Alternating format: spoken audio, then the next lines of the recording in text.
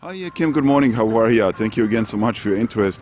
This is Aspen with Beaver Toyota, and I sent you an email uh, last night. I didn't want to call too late, but I just wanted to show you some of the um, the Rav4. There's a great selection right now. This is just a, uh, a, a few of them here, so I'll send this your way and let me know what the schedule is looking like. We're open today, uh, regular hours, Labor Day, and hopefully you have some. Uh, free time to uh, come by, we can set up a convenient time for you, okay? Uh, let me know you can reach me at this number anytime, and I look forward to being of service to you real soon. Thanks again, Kim.